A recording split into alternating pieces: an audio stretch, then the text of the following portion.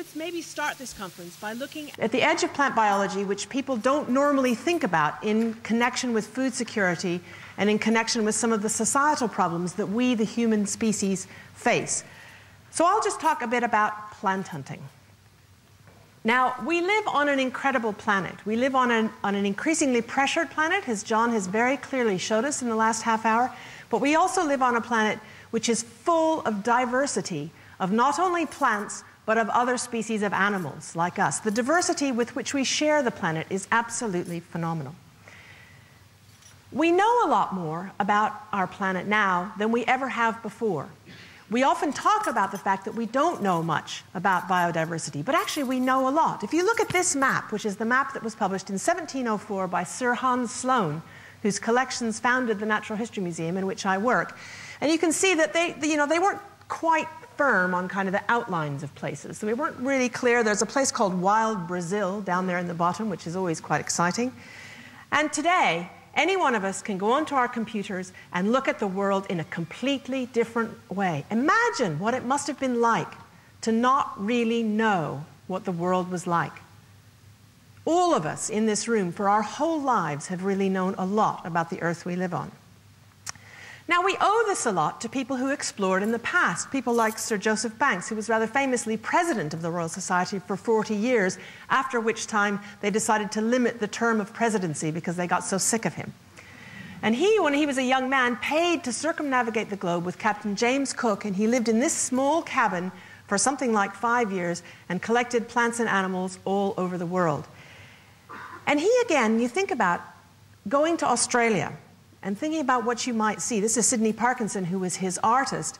And you can't see it very well because it's quite a low light image. But this is Sydney Parkinson's drawing of a kangaroo. Now, any one of us in this room, if we shut our eyes right now, we could imagine what a kangaroo looked like, couldn't we? Everyone's seen a picture of a kangaroo. Imagine trying to draw a kangaroo when you'd never seen anything like it before. So we really do know quite a lot. Plant hunting, as opposed to kangaroo hunting, is often depicted as a romantic sort of thing to have happen. The plant hunters, there are books written called The Plant Hunters. Um, Frank Kingdon Ward uh, collected plants for the horticultural industry in Burma and Tibet, and this picture on the, um, on the other side of the screen is Chinese Wilson, Ernest Wilson, who again collected in the, in the river, in the Irrawaddy River drainages and famously dressed as a coolie and escaped with his life um, various times. So plant hunting is often thought of as being very romantic, and Jim even sort of referred to my adventures as being quite romantic. But I think, as I hope to show you, they're quite prosaic, but they actually also give us information which we really need as part of the base to not underst un only understand plant diversity, but also to address some more serious societal questions. Other things we found out from people who have explored plant diversity is just how climate and position influence how and where plants grow. This is a statue of Sir Alexander von Humboldt, which is in um, Venezuela, which is where he famously explored in the early part of the 19th century. And after his explorations in the Andes, he came up with a model of how latitude and elevation interacted together to show how, how, why plants grow where they do and why vegetation on mountains is distributed in the way it is. Now, that model of plant, of plant distribution is what we use today, what climate scientists actually use today to look at how, climate, how the climate is changing the distribution of plants. So that comes from people who could have been characterized as plant hunters.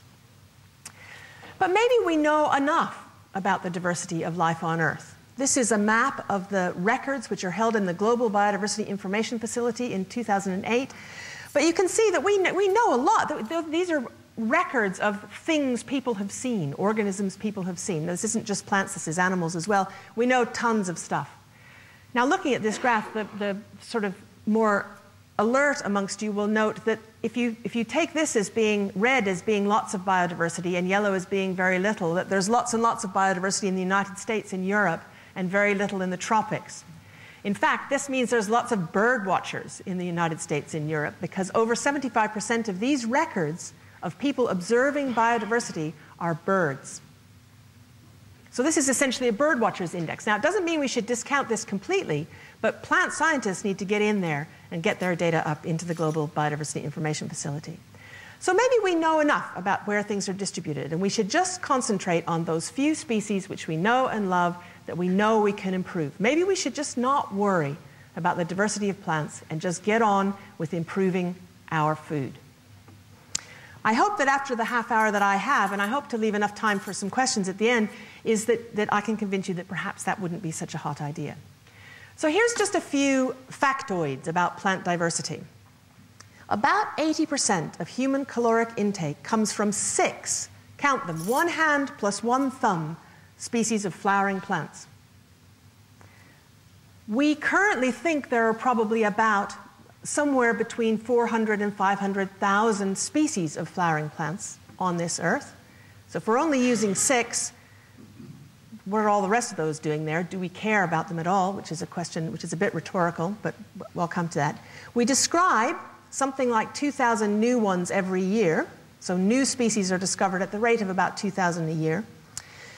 But half of all the species that we know about, and that includes accepted species and non accepted species, which I'll talk about in a minute, are only known from the one collection that someone made at the time they were discovered. So that means we know lots of things and we know absolutely nothing about most of them. And also, using calculations from a number of different ways of calculating this, we, we think that about 20% of all plant species, and this is all plants, not just flowering plants, is threatened with extinction. So 20% of all of plant diversity is threatened, and we know almost nothing about half of it. So that's a bit of a problem. That means we don't know very much about quite a lot. So this is where exploration comes in, and exploration and documenting diversity. Now, Frank Kingdon Ward and Ernest Wilson, when they were plant hunters in Burma and Tibet, would go out there and collect seeds for the horticultural industry. And many of the seeds of the things that we grow in our gardens actually came from their expeditions. Frank Kingdon Ward brought back blue poppies, which people in British gardeners cultivate assiduously and fail most of the time. They, they aren't particularly successful. I've tried a couple times and I always fail. So these places, you can go to, go to places and find new things and this, of course, does involve excitement. It involves some people, not me, because I fall out when I try to climb trees. Climbing trees, it involves getting cars unstuck. But the results of these are held in collections, which are really important collections. And there's one such collection here, which is of wheat seeds, which is a really important national collection of something. And you wouldn't think a place like the John Innes Centre had a collection that was important for documenting diversity, but it does. And all of these, the UK is particularly rich in these sorts of collections. This is a picture of the um, old herbarium in the Natural History Museum. Now, the, th the way that plant hunters work, and people like me work, is we go out and we don't do like bird watching and just say, I saw a sparrow at 9.30 a.m. on Tuesday at the corner near the Emirates Stadium in London. It's what we make is we make a specimen of what we see. We make a specimen which is, which is a voucher, which is almost, it's like having a physical point in a database. Now, the interesting thing about plant specimens is they really haven't changed. So, the technology that I use, and I hate to admit it in such august company, the technology I use is exactly the same as that Linnaeus used in 1753. I press plants between sheets of paper, dry them, mount them on card, make a label, and put it in the collection. Now, the one thing you can see from these three plant specimens, there's one from the 1700s, one from the 1800s, and one from the 1900s, is they're very similar. They show us about plant variation, which is really important, and I'll come to in a minute, but they obviously had more time to make them look nice in the 1700s than we do today. Mine are lovely like this, of course. And the way we collect this, as I said, is basically exactly the same. Getting things from trees can be tricky. You can climb them or you can use these um, pole clippers. Have any of you ever seen people kind of repairing telephone poles with those long extendable poles? Well, we carry those in the field to get plants up in the trees. And then you press things amongst between pieces of papers. And I always, when I show this picture, I always have to point out that all those beer cans were not due to me. But actually, those specimens themselves become a real frontier for species discovery. In a paper that was published in the Proceedings of the National Academy of Sciences in 2010, um, they analyzed the fraction of specimens remaining to be described versus the time since collection. And it turns out that most new species are described from specimens that were collected about 70 years ago. So the specimens that I collect on a, on a, on a trip probably will, won't be described for another 50 years. So, sitting in all those collections is also diversity that remains to be described. And this is just an example of one that, we, that I found in Paris that had not been, um, I had known it was new, but it had sat in the Paris collections and had been collected by that very same Alexander von Humboldt when he was in uh, Santa Fe de Bogota in Colombia.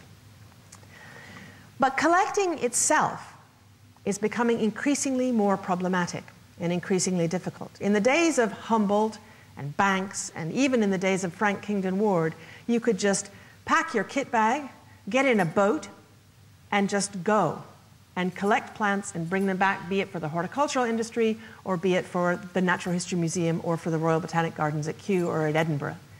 The world is not the same anymore. All of our countries are signatories to something called the Convention on Biological Diversity. The one big holdout in all of this is the United States, but the United Kingdom is a signatory to the Convention on Biological Diversity, which regulates access to genetic resources. Now, everyone in this room knows that plants are an enormous genetic resource. Our own species is a huge genetic resource. So, as a result, getting permission to collect plants is becoming more and more difficult, and getting permission to actually share the results of that, those collections and the share of that diversity amongst the scientific community has been difficult for about the last couple of decades. But things are changing with something called the Nagoya Protocol, which was signed in, in Japan, in Nagoya, at the last conference of the parties of the Convention on Biological Diversity, which is aiming to open up the free interchange of genetic resources for bona fide scientific research. And I think we really need to think about this, and I think all of our communities, for all our plant science communities, needs to take the CBD seriously, but also think about in what ways we can, we can help with this to help facilitate further scientific research. But the CBD has made things quite difficult. Now, there's basically two sorts of plant collecting or plant hunting that people do today in the 21st century. The first of which is to go somewhere where people haven't been before. And that may seem crazy that there are places on Earth where people haven't been before, where scientists have never been, but there, let me tell you, there are quite a few of them. So, this is a place in Panama where we walked in for three days and stayed there for three weeks. And in those sorts of, of field trips, one collects absolutely everything because people may not go back there. And often, also, what happens is that when you do go somewhere, you come back three months later or three years later, and it's gone. It's been turned into agriculture, as John has shown in Africa, as does happen with increasing land. Now, one of the reasons for doing this is that if you look at where habitats occur, one of the ways that we can look at where habitats occur on Earth is we can use models which are based on collections which are held in herbaria. And this is, a, this is a map of the biome of tropical dry forest, which is one of the most endangered habitats in South America, done by a postdoc of mine, Tiina Särkinen. And what she did is she took species of plants that are known to be endemic to this area, and she modeled where they would occur based on the herbarium collections. Now, that is all fine and good, but what if there's a place which has got lots of tropical dry forest, but no one has collected there? And there are no collections from there. This is the Rio Pampa in Peru, which we recently collected in. Um, and this, there, I had never seen collections from this area before. So there, there are places which are really obvious, which we need to collect in. The other way that people tend to collect is they collect for a specific purpose, for specific families and areas of research. Now, this actually is easier to get permission for. So, the trip I've just come back from, Jim referred to that I'm just back. I'm just back from two months in the field in Argentina and Peru. And I had a permit to collect the plant family that I study, which is, this, which is Solanaceae, which includes tomatoes and potatoes and all their kind of family fun friends. And in this way, you cover a lot of ground, but you very specifically collect only that one family. Now, for someone like me who just likes plants in general, it's really, really hard to go in the field and kind of pass all this quite cool stuff by that you know you can't collect because you don't have permission. And I don't do it because without permission, not only I'm in trouble, my institution is trouble, and the UK is in trouble. So it's really important that we stick to that permission. So we went collecting Solanaceae. So what I'd like to talk to you about is really why we still need plant collections today. And I'll use two examples, one from Peru, well, three examples, two from Peru and one from Argentina. Now, as I said, most of these, many plant species are only known from their type collection. So they're really only known from one place. And in 2009, I described a species of solanum which we called Solanum anomalostemon because it has very odd looking anthers. It's a very peculiar looking plant on a herbarium sheet. And I'd never seen this plant alive. I described it purely from the specimen from a collection that had been collected in 1930. So there you go. Quite, quite a long time between its collection and its description. So we went specifically back to the place where this had been collected, didn't find it there, but found it in a similar area by trying to say, okay, if it was here once, what kind of habitat might it have been? Which now means we know lots, lots more about this particular species. We can get DNA sequence out of it. We know what habitat it grows in. We know what its fruits look like. We know what sort of forest it's in. We know much more about it than we did in that paper, which was published in 2009. And that's really important because that particular species is as peculiar in life as it was in the herbarium specimen, and it may have something in it that will tell us something about not only diversity, but something that we might want to use later. I'd never been to Argentina before, and the Argentina, I've spent a lot of time in Peru, but I've never been to Argentina before, and the Argentinian Andes were a huge revelation because they were extremely dry. And I had always thought of the Andes as being quite wet. And people have worked a lot in Argentina and there is a lot of diversity there. And I'll tell you the story of what I call the story of Solanum salicifolium, which I think illustrates why it's really important to, to look at plants in the field. When we look at plants as single individuals, and I would argue that we sequence genomes off single individuals. We know the Arabidopsis genome, we know the human genome, we know the potato and tomato genomes, but it's changing quickly. But those are single individuals, and they're highly modified single individuals. Plants in the field do very peculiar things. Solanum salicifolium was described in the 1800s by someone from Mendoza in, in central Argentina. And we went looking for this particular plant and found this whole series of things which looked a bit like it. So there's something that grows as a big vine coming out through dry acacia trees. There's something that grows with fleshy leaves, something with big leaves, and then this squitty little plant, which is about this big, which is basically the same thing. Looking at all of these, if you had a single individual of each of these, you would say, those are all completely different. Those are all completely different things. But what we found was, in fact, on a single individual, you got all the leaf variation within this entire set of things which were called different species. So what we've done is we've called it Solanum salicifolium, and all the other species names become synonyms. Now, this doesn't mean that those were wrong.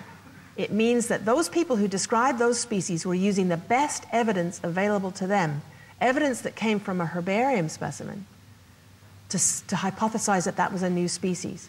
But it's field work that showed us that these things were all different. And it also seems to not be related to the environment. Fieldwork also allows you to look at plants in their environment and say, oh, well, this is small because it's growing in quite a dry place, or to, or to hypothesize that. But looking at, at, at this particular species, that wasn't the case. In the sacred valley of Cusco in Peru, which was the center of the Inca Empire, which was famously overrun by the Spaniards as the, as the Europeans, quote unquote, discovered the New World and managed to, to pillage it beyond recognition, is in the sacred valley there's another species of solanum which grows, which has purple flowers and is a vine. Now, this is just a picture of some of these things, and we're still really confused about this is this thing grows as, as a vine, as I said, and sometimes it has tiny little inflorescences with just a few flowers in each inflorescence up there in the top. Sometimes it has great big inflorescences. Sometimes it has big flowers, sometimes it has small flowers. Sometimes it has simple hairs on the stems, sometimes it has branched hairs on the stems. And this was all is a complete mess. So we spent a lot of time going from place to place and mapping out where all these different characteristics occurred in this quite large area. And we're still not sure what the right answer is because there's all these names associated with all of this variation. Loads of different names. You can see a man named Bitter named three of these specimens. Now, these names float around, and one of the jobs of someone, a person like me, the kind of plant scientist I am, is to make sense out of these names and figure out what we're going to call a species. And one problem we have is that many of these type specimens of these names were held in a herbarium in Berlin, which was, this, which was a direct hit by Allied bombing in the Second World War and burned up, which means all of those type specimens are gone. So we have no way of knowing what these things actually refer to. So what we did on our, in our plant hunting field trip is we went to the type localities, the place where somebody, the person who had first collected that plant, which was used as a type specimen. Remember, half of the names are only known from the, type, the single first collection. We went back and recollected in that area to try to figure out what that name was. And you can't do that without going in the field. So now we have material from all of those places, and we're going to sequence these once I get the permit for genetic resources, and then we won't know the answer, but we'll have another bit of evidence with which to test our hypothesis. The environment is really, really complicated. And the environment plant interactions, about which we'll hear more today in a much more detailed way, can be quite complicated. But in the field, it's important to look at real environment interactions with plants along a broad range of taxa.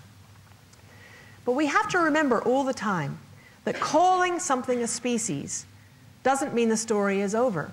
It's a hypothesis about the distribution of variation in nature. All those names that applied to that purple thing, which if they're all the same, it's going to be called Solanum pallidum, they were somebody's idea about what variation meant in nature. But going in the field allows you to look at it in a much more detailed way. So was that thing new? Is this thing which we previously thought was something called Solanum americanum, but turns out we think it's completely different. Some very odd thing found only in dry valleys in Peru, in all the dry valleys in that tropical dry forest. Is this a new species? We need evidence from the field, from molecular sequences, and all kinds of evidence to be able to tell us that. Plants also do incredible things that you notice in the field. This is Eucalyptus monogina, the tallest organism in the world. And this is a plant which we collected in the Altiplano in Argentina, which is doing its entire reproductive cycle the size of my thumbnail. It has a bud, a flower, and a fruit. Now that's pretty incredible that plants can do all those. And think about the variation in body size that that involves. Vertebrates don't do that. Vertebrate body sizes don't vary that much. And plants can live in some pretty extraordinary habitats, habitats you would think that nothing else is going to live in. This is a sand dune, again at 5,000 meters in the high elevation in Argentina, and this is a species of Solanaceae which grows only there. So fieldwork allows us not only to look at variation, look at the distribution of variation, try to construct hypotheses about the environment and the plant, but it also can show us some of the extremes to which plants can go, which those of us working in labs and things know about, but actually seeing a plant really growing in one of these extraordinarily dry places, you realize they can do it.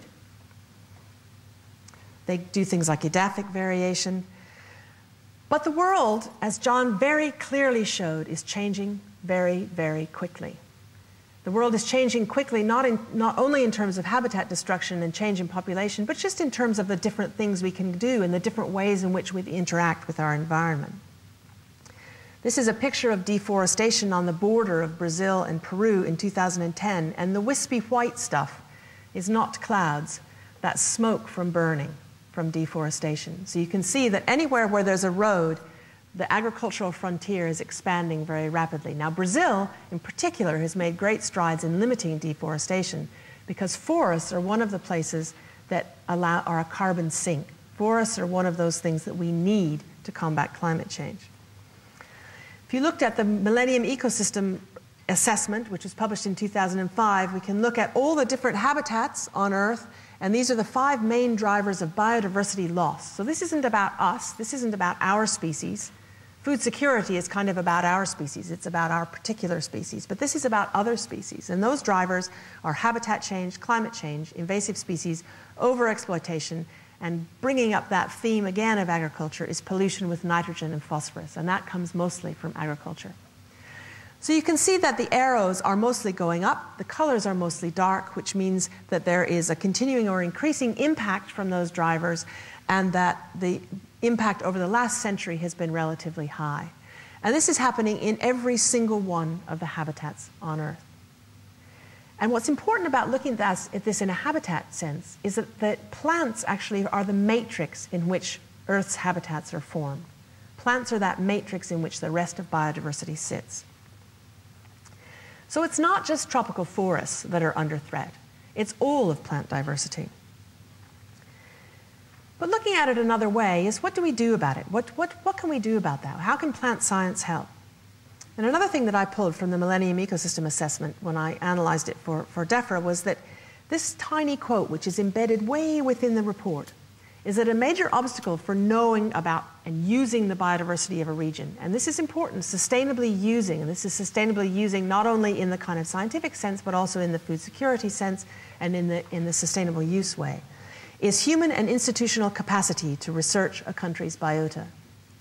So that means people are really important in all of this equation. Not only people to do particular pieces of research, but institutional and human capacity to research a country's biota, to know about what a country has and the diversity of it and how it interacts. And this is true not only in Peru, where the bottom photograph is taken, but also here in the United Kingdom.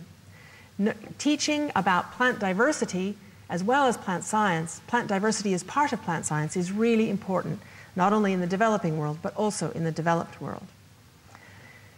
So we could end with this cartoon. How many species do I need, says the man. And I, the alert amongst you will note there's not a single plant in that picture. And I would argue that maybe we ought to think not about how many species we as individuals need, or how many species we as individual, as an individual human species might need, but what plant diversity actually does for us and in order to know what it does for us, we need to also at the same time be looking into what it actually is and how it interacts with the rest of biodiversity. Because this is a green and blue planet. But it won't remain a green and blue planet for very long if we continue to exploit it at the rate we are, but also if we continue to ignore the other 500 million species with which we share it. And that relies on exploration. And it relies on exploration not in the plant hunting, kind of having adventures in the Amazon and Andes way, but in targeted exploration, which allows people to document something very carefully and making those data available for others to use in, in ways that the person who collected them might not ever have thought of. Because plants, just like weather, can give you all kinds of surprises. So, thank you very much.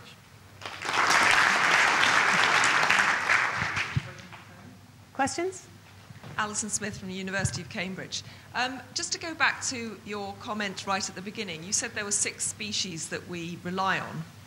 Can you see, this, this might be a tangential leap, can you see the work that you do providing some clues as to some other species that we could um, start to exploit? I, I, th- I think I, I, can sort of see it, but, but it's a long way from it. So, so the chain between what I do and the kind of let's exploit other species is extremely long. But I think critical to that chain is actually having data available and having data openly available about where things grow and also people taking proper information in the field. I mean, I am continually shocked when I go into herbaria around the world and discover that people aren't putting geographical coordinates on things they collect, which is the prerequisite for getting it onto that kind of Europe, America centric map from the Global Biodiversity Information Facility. So I, I guess I, I think I like to hope that it will be, but I can't, I've never seen it happen. But you know, that things take a long time.